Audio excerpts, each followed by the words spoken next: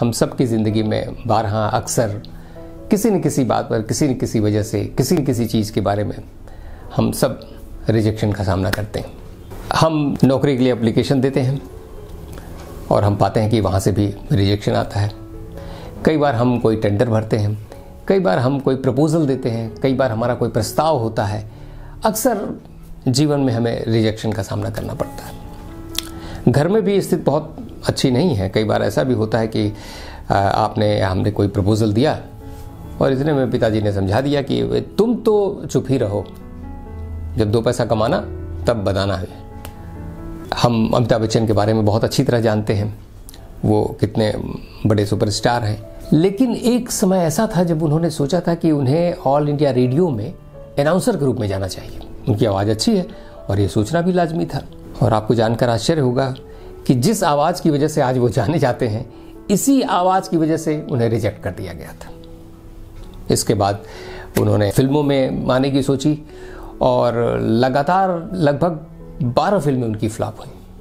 तो आप ये समझ सकते हैं कि 12-13 फ़िल्में फ्लॉप होने का मतलब है कि जनता ने उन्हें रिजेक्ट कर दिया।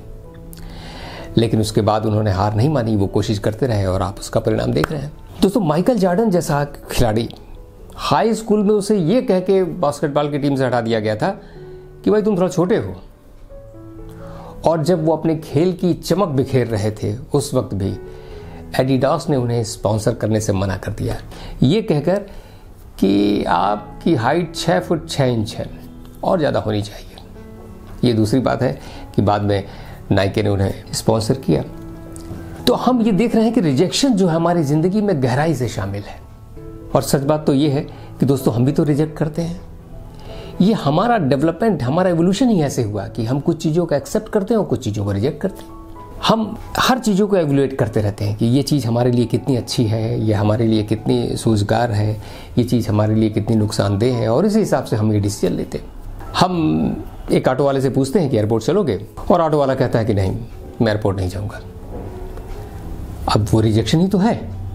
आप अपने ऑफ़िस में कोई एक प्रपोजल रखते हैं और आपका बॉस कहता है कि नहीं, इसमें वो वर्थ नहीं है। और आप मायूस हो जाते हैं। हम मार्केट भी जाते हैं तो कोई एक चीज़ खरीदने के लिए दसियों चीज़ देखते हैं। तो जब दसियों चीज़ देखते हैं और एक चीज़ खरीदते हैं तो बाकी नौ चीज़ें तो रिजेक्ट हुई ना। दोस्तों, हमारे नॉर्थ इंडिया वगैरह में जहाँ शादियों का आजकल मौसम भी है तो वहाँ क्या होता है? लड़के के घर दसियों लड़कियों के फोटोग्राफ आते हैं। कोई एक लड़की चुनी जाती है, बाकी नौ रिजेक्ट उसी तरह लड़कियों के जो पिता हैं, वो दसियों जगह घूमते हैं और जाते हैं लड़की के लिए, लड़का देखने के लिए। कोई एक चुना जाता है, बाकी सब रिजेक्ट तो ये रिजेक्शन जो है हमारे जीवन का हिस्सा है और तब से है कि जब हमारा जो केप ह्यूमन जिसको हम कहते हैं, जो आदि मानव जिसको हम कहते हैं या कहते हैं कि जो गुफा मानव है, जो गुफाओं में रहते थे, उस समय से जो हम, हमारे सीपियंस की यात्रा है, जो आज हम होमोसिपियंस कहलाते हैं, उनकी जो यात्रा है वो इसी से बनी ही है जहाँ कहीं सिलेक्शन है और कहीं रिजेक्शन है। Thank you